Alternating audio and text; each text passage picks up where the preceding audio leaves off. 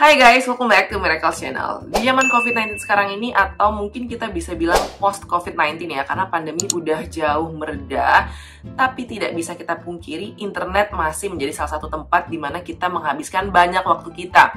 Nah, internet sendiri ini seperti pisau bermata dua. Jadi bisa satu sisi dia negatif. Misalnya kita gunakan untuk scroll TikTok ya tapi tiba-tiba udah tiga jam aja nih gue scroll TikTok padahal ada pekerjaan yang harus diselesaikan gitu. Atau sisi satu lagi dia bisa menjadi hal yang positif. Misalnya kita gunakan untuk mencari uang tambahan atau penghasilan secara online dari internet. Dari situ gue terinspirasi untuk membuat video seperti judulnya 5 cara menghasilkan uang tambahan secara online.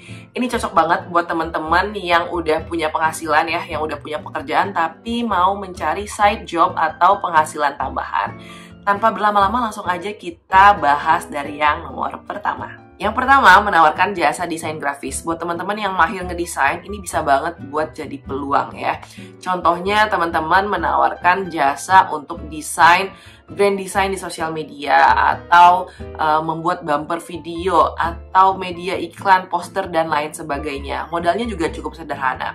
Pertama butuh PC, PC, PC atau laptop ya kan. Yang kedua butuh aplikasi desain pastinya dan kayaknya sekarang udah banyak yang gratis juga. Lalu yang ketiga yang paling penting juga adalah waktu. Kalau misalkan teman-teman udah punya pekerjaan yang tetap ya harus cari waktu luang untuk ya melakukan desain tersebut. Nantinya hasil-hasil desain ini juga bisa jadi portofolio yang bagus untuk lo ngelamar kerja. Dan by the way, nggak harus anak DKV lo guys yang bisa menawarkan jasa desain grafis ya. Sekarang banyak banget kursus online yang gratis maupun berbayar tapi ya lumayan uh, terjangkau untuk lo bisa belajar mendesain dan menambah soft skill baru tentunya.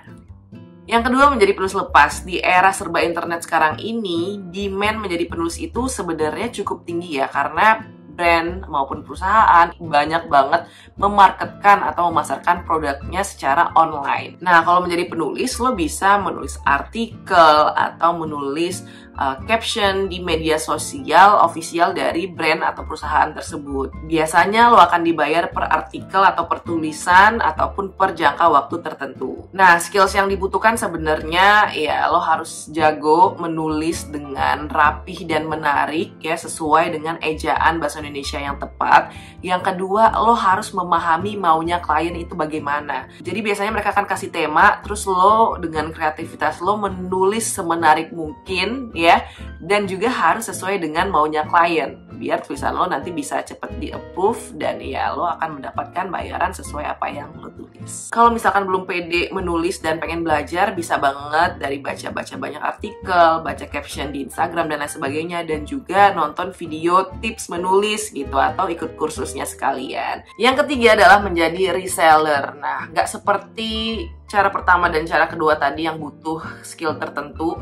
Untuk menjadi reseller lo cuman butuh sosial media terus juga rajin-rajin mempromosikan ke teman-teman dan memilih produk yang bagus tentunya. Untuk mencari produk yang bagus ini ya tinggal cari aja produk yang lo suka ya kan? Dengan lo suka produk tersebut jadinya lo lebih gampang untuk mempromosikan produk itu ke teman-teman lo atau ke media sosial. Jenis produknya juga macam-macam. Lo bisa pilih mulai dari fashion, kemudian sabun mandi, skincare, make up, apalagi alat tulis dan lain-lain. Dan yang menarik lagi lo bisa start dari modal 0 rupiah. Kalau lo baru banget menjadi reseller, lo bisa coba dengan cara dropship ya kan dropshipper itu jadi lo membeli produk dari uh, toko tertentu kemudian dari toko tersebut langsung mengirim ke customer lo. Jadi lo nggak perlu repot, cuman nge-input alamat dari uh, customer lo, terus ya udah langsung lo kasih ke toko utamanya. Atau bisa juga dengan sistem PO. Jadi ketika ada customer yang mau beli, baru deh lo order produknya, nyampe di tempat lo, lo packing atau segala macem, dan diberikan ke customer lo tips dari gue adalah lo sendiri harus cobain dulu produknya. Kalau lo ngerasa itu bagus dan lo ngerasa ini kayaknya bisa punya nilai jual yang lebih tinggi, baru deh lo coba untuk PO atau dropship dulu. And then kalau udah lebih rame lo bisa mulai untuk restock dan berjualan lebih banyak lagi. Yang keempat adalah menjual barang second atau pre-love. Nah inilah yang gue lakukan satu bulan lalu sebelum gue pindahan karena isi lemari gue tuh bener-bener kayak sumpah banget banyak baju yang gak dipakai. Kan daripada mendep aja di lemari gue pakai setahun sekali mendingan gue jual aja. Ya sekalian membantu untuk hidup minimalis barang sedikit tapi ya sering dipakai berulang-ulang ya guys. Kalau lo ngerasa ini baju kayaknya nggak menarik lagi nggak ada yang mau beli no. Sebelum lo mencoba mempromosikan jangan ngomong kayak gitu dulu.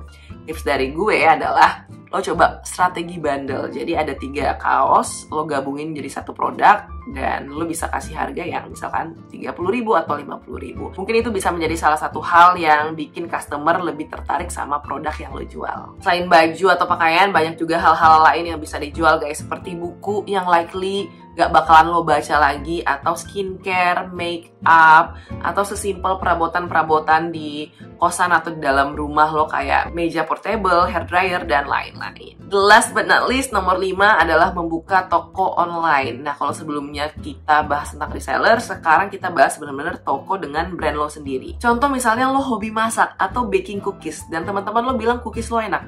Kenapa nggak sekalian aja buka bisnis jualan cookies ya kan? Atau misalnya lo suka fashion dan punya ide kreatif seputar desain, lo bisa buka clothing line sendiri. Semua jenis produk sebenarnya bisa diusahakan untuk dijual. Tinggal lo lihat lagi nih produk beneran favorit lo nggak atau beneran uh, kira-kira bisa disukain banyak orang atau enggak. Promosi di awal nggak apa-apa, nggak usah pakai website yang berbayar dulu, cukup dari sosial media, kemudian promosi antar teman, mouth to mouth. Nanti kalau udah mulai besar dan ini bisa menjadi ladang bisnis buat lo, ya tinggal diseriusin dengan membuat website resmi misalnya, atau kerjasama dengan content creator ataupun influencer. Nah, kalau mau mulai membuka toko online yang lebih serius, misalkan mulai dari nyetok barang-barang yang akan dijual, hire karyawan, kemudian hire jasa desain, packaging, dan sekarang yang lagi rame adalah pasang ads atau iklan di sosial media seperti Instagram dan TikTok. Hal tersebut tentunya butuh modal atau biaya awal yang harus dikeluarkan. Buat yang kesulitan perkara modal, sekarang banyak banget jasa pinjaman atau kredit dengan bunga rendah yang bisa kita gunakan. Tapi hati-hati ya guys, jangan ketipu sama pinjol-pinjol yang biasanya nge-SMS kita out of nowhere, nggak tahu juga dapat nomor kita dari mana ya. Saran gue, ajuin aja pinjaman KTA atau kredit tanpa agunan yang terpercaya seperti Digibank KTA dari Digibank by DBS. Caranya gampang guys, dengan sentuhan jari aja lo bisa apply dari mana aja lewat aplikasi Digibank by DBS. Apa sih kelebihan Digibank KTA ini dibandingkan pinjaman lain? Yang pertama, approvalnya cepat dalam waktu 60 detik. Merem bentar aja, eh udah di approve. Yang kedua, tanpa dokumen fisik, tanpa berkas-berkas, jadi nggak ribet, cuma butuh IKTP dan NPWP aja. Yang ketiga, dana langsung cair ke rekening Digibank by DBS hingga 200 juta rupiah. Yang keempat, bunga kompetitif mulai dari 0,88 persen. Jadi pinjaman bunganya rendah dan nggak memberatkan kita sebagai peminjam. Yang terakhir, pasti aman dan terpercaya karena sudah berizin dan diawasi oleh OJK. Cara daftarnya gimana? Ribet nggak? Nggak sama sekali. Proses pengajuan Digibank KTA ini full online. Lo nggak perlu ngirim berkas-berkas semacamnya, cuman butuh ponsel, IKTP, dan NPWP. Untuk lo yang belum menjadi nasabah, berikut 5 langkah proses pengajuan Digibank KTA yang belum menjadi nasabah. Untuk yang sudah menjadi nasabah, berikut pengajuan Digibank KTA yang sudah menjadi nasabah.